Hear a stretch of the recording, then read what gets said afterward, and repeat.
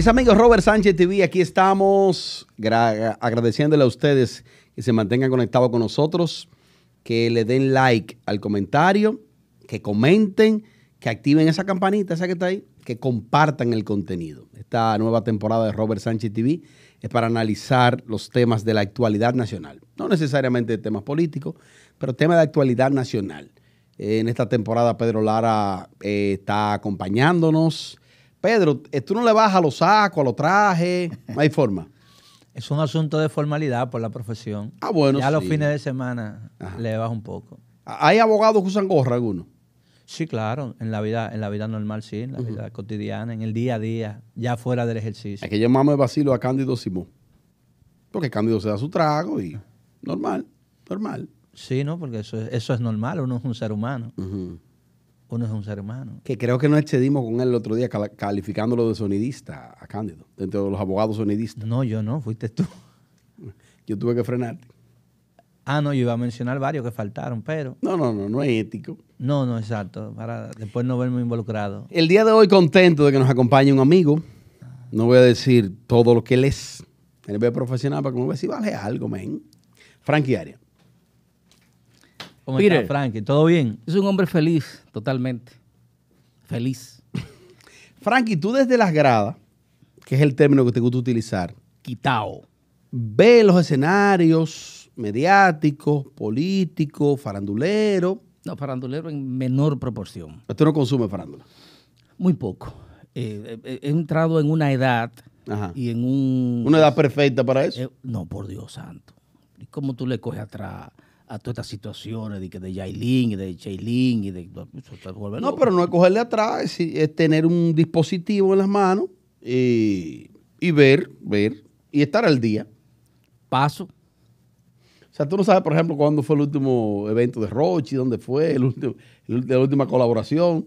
Que hay que decir que Frankie, aunque él hoy reniega la farándula, él tuvo mucho que ver con el mundo del entretenimiento, la promoción radial, la programación radial, locutor de primera, programador de primera, todos esos merengueros, todos los artistas establecidos del país, te conocen hoy en día, no, que, que tú estás por encima de eso. Usaste un término eh, renegar. No es exactamente eso. Es que la farándula de hoy no la entiendo. Tan sencillo. ¿Pero es la misma? No, no, no, no, no. Lo de hoy no tiene mamacita lo de hoy yo no lo entiendo. Es que lo de hoy corresponde al tiempo, Frankie. Pero precisamente, entonces yo soy, yo no soy de este tiempo. Yo soy un viejo que no ha muerto aún, que está en su casa. ¿Tú tienes 56, 55? No, yo soy un hombre de 59 años ya. 59 años. La mayoría de las personas de 59 años, ¿tú entiendes que actúan así? O sea, que, que actúan como tú, la mayoría. No, no, imposible. Eh, eh, eh, nadie piensa en cabeza ajena. Cada quien tiene su característica, su personalidad. Hay personas de 65 años que creen que son muchachos y tú lo ves de ridículos buscando vallas en un teteo de que en la 42 y en la que sé yo cuánto y tú dices, pero ¿y este señor? No tiene familia que lo aconsejen. Pero un amigo me dijo a mí un día que hay distintas formas de ver y de vivir la vida. O sea, por ejemplo, es posible que vivir para ti es coger punteteo. Vivir para otra gente es sentarse a leer un buen libro, un café, un puro. Vivir para otra gente tomarse un vino. Eh, no sé, como que no hay como un patrón establecido de... No lo hay. No lo hay. Pero lo, prudente sería que, acorde a la edad... Usted, por ejemplo, teteos, usted tiene 20 años, usted está terminando la universidad, eh, luego que termine la universidad va a entrar en un proceso productivo de trabajar. Antes que llegue eso, usted se tira para la 42 y hace todo su brinco y vuelta maroma y lo que te conté para probar si quiere, ¿no? ¿Es qué? Lo que te conté. Ajá. Sí, para probar. Luego. Quemar etapas. y luego se endereza. Usted no puede llegar a los 60 años. Dice que usted es un jevito, y que usted sí y que con el otro no, y que usted sí con 60, que usted sí, usted, lo que está esperando que un médico le diga, mire, vaya a la farmacia y compre eso. Franklin, pero entonces tú no consumes ni la farándula, ni la música, nada que tenga que ver no, con... No, no, la música es otra cosa. Eh, hay música de hoy que a mí me gusta. ¿Cuál, por ejemplo? Eh, Manny Cruz. No necesariamente Manny Cruz. Eh, oigo cosas de hoy que me parecen interesantes. A lo mejor no, no recuerdo el nombre de, de Ya tú sabes. No entiendo la farándula de hoy. Pero por ejemplo, no la entiendo. Por ejemplo, hoy yo conversaba con un importante artista, el prodigio. Co- Coincidí con él. Nada que tenga que ver al aire. Y alguien que estaba ahí decía eh, que Anthony Santos piensa llenar el Estadio Olímpico. Y yo dije, yo humildemente creo que a Anthony Santos se le fue el tiempo. Se le hizo tarde.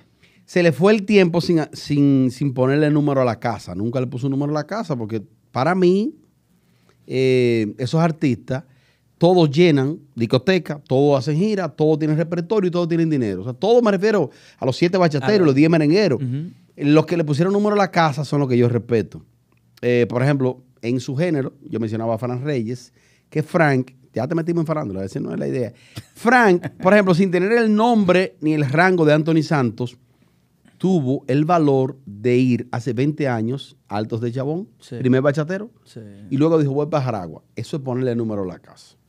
Eh, ahí existen quizás 30 merengueros con historia y más repertorio que Pochi Familia y dijo, yo voy para el Estadio El Olímpico. Estadio Olímpico. Lo que al final de la jornada, yo le hacía un llamado a Gillo Sarante el otro día, que se molestó bastante conmigo, porque yo dije que no es posible que Gillo se conforme con llenar discoteca, irse de gira, sin ponerle el número a la casa, que cómo se explica que Gillo no ha llenado un Palacio de los Deportes, y él, ya tú sabes, Sarante al fin se sintió mal. Tú, ti- mal tú tienes razón con Gillo. O sea, él Eh, eh. tiene muchísimas condiciones, un gran repertorio, Una pegada pero a- algo que hablábamos fuera del aire. O sea, él no ha, ha tenido el atrevimiento, él no se ha atrevido, Entonces, teniendo las condiciones. Puntualizando con lo de Anthony Santos, que ya llevamos como cinco minutos de farándula, que ya está un bloque.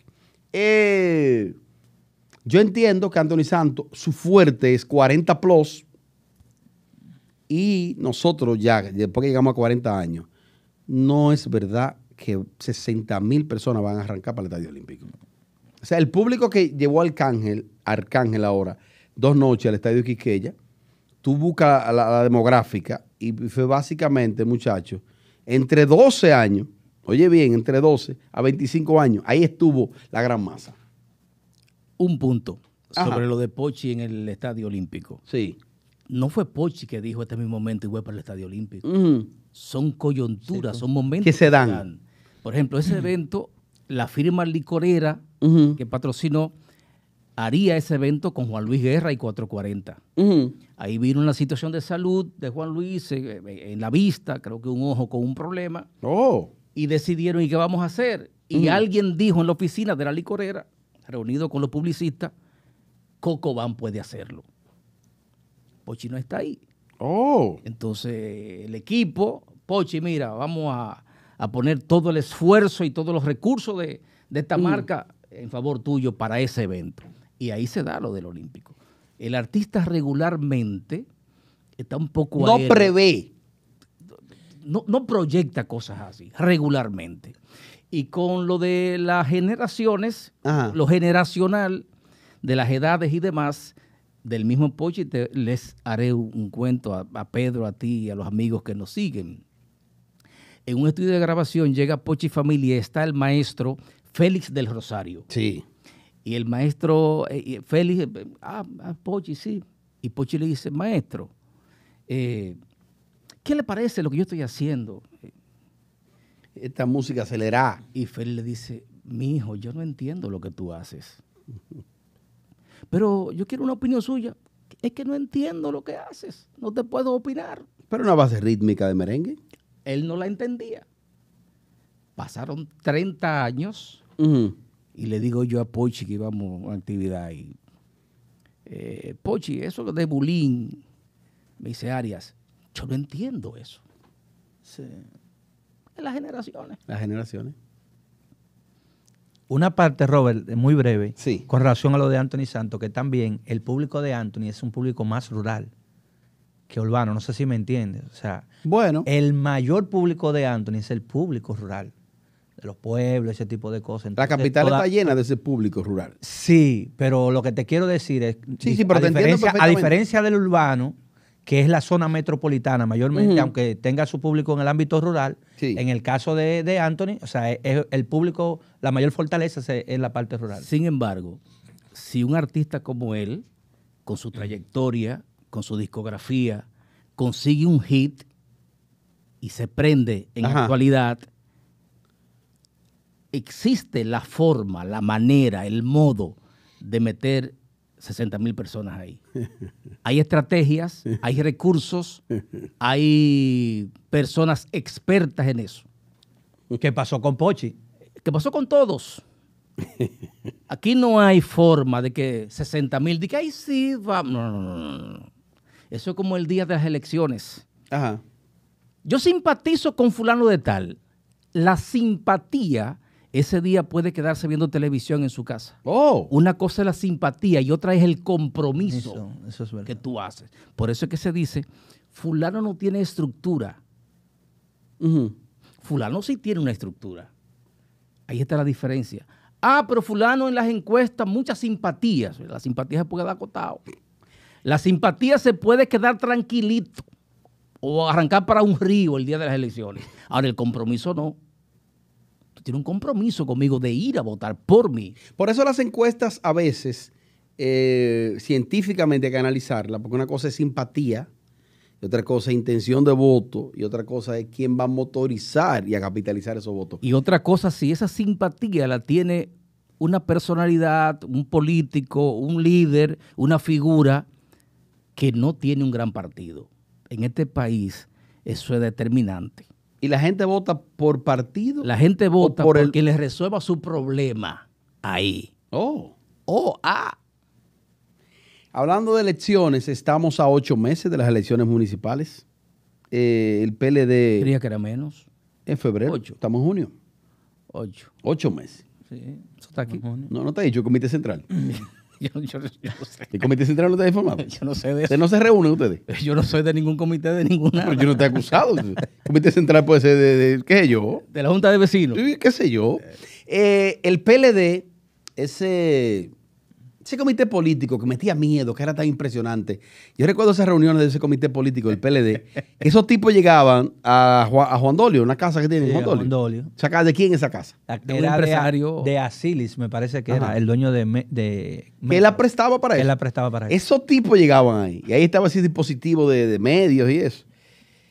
Diablo, eso era, una cosa, era una cosa de película. Por lo menos a uno que le apasiona darle seguimiento a eso. Con esos tipos se desmontaban, los 35 miembros del comité ¿Qué, político. qué risa me da eso a mí. Y ahora tú ves que se reunió el comité político del PLD y tú dices, pero No ha pasado nada. un partido diezmado. Y él no sabe por qué. No, no, pero perdón. Perdón, perdón, perdón. Se reunieron ahora. Y dentro de la reunioncita del comitécito. pero, pero, pero, pero, pero, perdón. Eh, una de las decisiones, por lo menos lo que ha salido en los medios, no nos vamos a aliar con ningún partido que haya realizado alianza con el PRM. Eh, explícamelo, Lara, para entonces algunas inquietudes, inquietudes preguntarle a Frankie. Bueno, ¿Qué es lo que significa eso? eh, de algún modo hay una información que está como Inexacta. inexacta, porque al momento de eh, Charlie Mariotti, secretario general, hacer la rueda de prensa y pronunciarse, Sí. él deja entrever porque él es de la posición de no acuerdo con el- la fuerza del pueblo. Entonces, en ese caso, él hace el énfasis de que no se van a aliar a partidos que se hayan eh, vinculado con el PRM, pero es con lo que tiene que ver en este proceso que, que está cursando en este momento. O sea, para no las se elecciones refieren 2024. a las elecciones pasadas del 2020. No, la del 2024. Pero de manera de tácitamente eso quedó. Ya eso sí, eso quedó claro. Varios eh, miembros del comité político, como Danilo Díaz, Carlos Amarante Sánchez Baré, eh, José Dantes, entre otros, han Robert de la Cruz, que viene siendo Danilo, porque él es el asistente personal de Danilo, también Robert de la Cruz es miembro del comité político. del comité político. Ya tú sabes. Saludo para Robert en Higüey. Después de ese ya tú sabes. No, no, amigo mío, el otro día de hecho me escribió. Después de ese ya tú sabes. No, lo que pasa es que mira, hubo un momento. no quiero yo amigo. Hubo un momento que se veía como imposible e impenetrable a que alguien llegara al comité político de una manera tan fácil como llegó Robert, de verdad me ha distinguido siempre. Saludo para él, el tocayo. Robert, Anótalo, ¿Cómo se llama? Anótalo. Ah, ¿Para dónde que ellos están anotando? Papá. Hay otro, eh, hay otro chiquito. eh, Alexis. Pujol está ahí. Alexis Medina. Alexis no, no. Alexis la antigua. Alexis la antigua. Que era. Ya tú sabes. Y, y Euclides Sánchez fuera. Pero bueno, Frankie, eh, el PLD está sacando pechito, sin gente. Sin gente. La marcha de ahora, la marcha del sábado. Sin gente. Primero, eh, algo. Eh, la reunión del comité político, o perdón, Oye la connotación. La reunión del comité político, la voy- entonación te- sobre todo. Te voy a complacer. Ajá. La reunioncita Del comité. del comitecito politiquito Ajá. determinó que no hay alianza con quien tenga una alianza, con quien vigente. tenga una alianza vigente, Exacto. con el PRM. Ok. O sea, eso abre las ventanas, las posibilidades, las puertas de en algunos municipios y Ujú. provincias pactar incluso con la fuerza del pueblo. Ajá. ¿Asistieron todos los miembros a la reunión del comitecito? 33 miembros Hay de los uno que 35. está preso en Najayo, Dos. hay otro que está preso en su casa. No, porque Ah, exacto, exacto. sea, Hay dos Gonzalo, presos. Uno y José Gonzalo Ramón. y José Ramón. José Ramón. Eso Exacto. tenían excusa. Los vale, únicos. eh, Ah, pero mira, fue una buena No, asistencia. no, un momentito. fre- Fréname ahí. No, pero perdón. Margarita Cedeño, Ajá. ex de Fernández, Ajá. ex vicepresidente de la República, Y Eds. vino, estaba fuera del país y vino a participar ahí y trajo supuestamente, no me consta, porque yo no soy de ahí, Ajá. una propuesta por escrito Oh, que sí dio al traste, la reunión duró ocho horas, que dio al traste Ocho horas, está, muy informado. Sí, fue ocho horas. la prensa Oye, ustedes, ¿a dónde salió eso? Que en que todos los medios. Sí, ocho horas. ocho Bueno, horas. en todos los medios. No sé qué y ella trajo esa propuesta Ajá. que fue apoyada eh, por una gran parte del comitecito. ¿Tú sabes por qué es 33. ¿Tú sabes por qué es Mira, yo pensé que no, que... ¿Tú sabes por qué es Cito? Ajá. Porque ya no nombran. Cuando nombraban, Se veían... oh, no, se veían no, el comité político, porque nombraban. y mandaban una cartica. Fulano, ve donde Perencejo, que dije Dame yo tu que- cédula, dame tu cédula. Ahora no nombran. Ahora hay gente que se dieron cuenta que ya eso no sirve. O que- sea que Francisco Javier estaba ahí. Sí, claro. Bueno, todos, excepto... integrado a la campaña de Abel. No, importante. Ay, Dios Eh, a mío. propósito de eso, de eso que hay dice gente que no ha entendido. Debí lo que- traer agua. hay gente que no, en- que no ha entendido lo que ocurrió ahí. Ajá. Sí.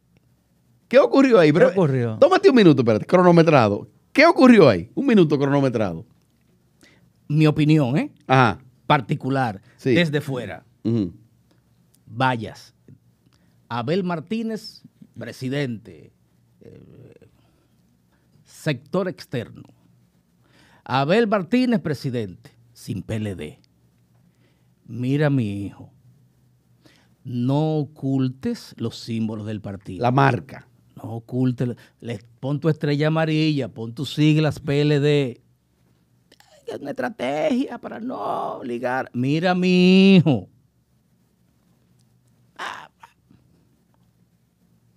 Mi hijo, te hemos dicho.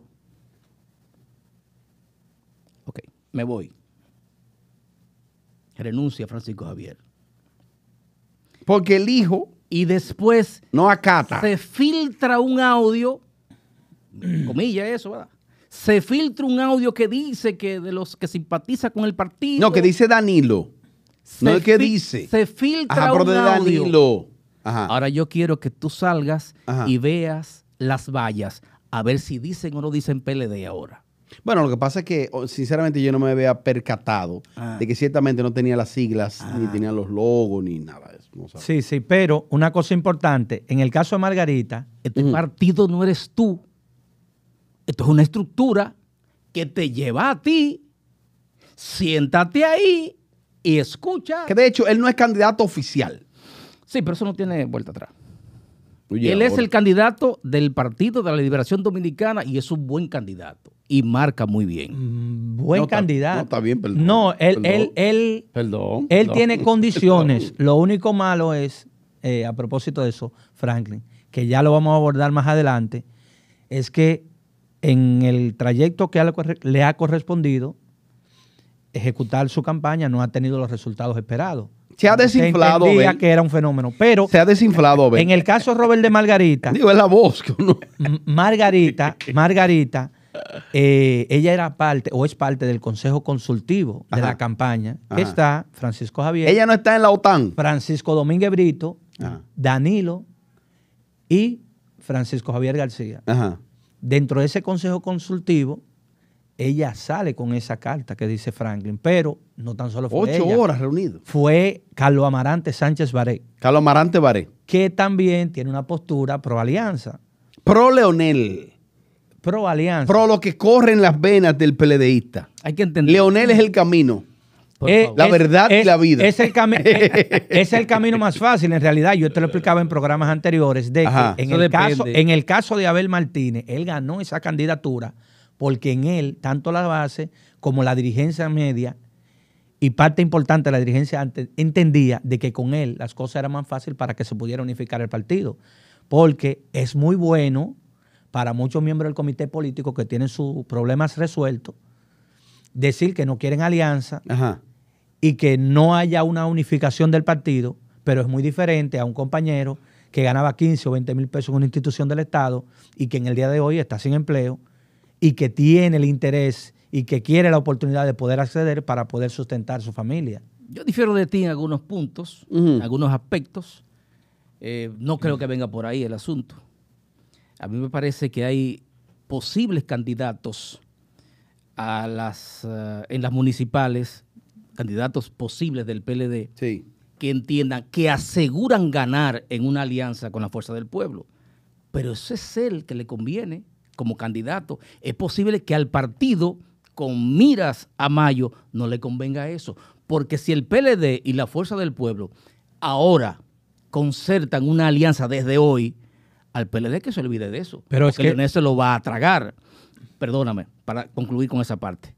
Por eso es que viene la propuesta. No, no, no. Vayamos cada quien por su lado a febrero a ver qué tiene cada quien. Pues Porque ahí está Francisco Peña Guava. Ajá José Fran. José Fran, pidiendo alianza. ¿Y cuántos votos pones tú para la alianza? Las estrategias, las ideas. Ah, sí, las ideas no votan. Pero Él es el gran estratega. Franklin. Por eso está en el gobierno. No le interesa, está por encima de eso. no, él no, él, no le interesa. Oye, lo que vamos a hacer. No Vamos a hacer una pausa con este contenido. Segunda parte es lo próximo. Robert Sánchez TV. Seguimos.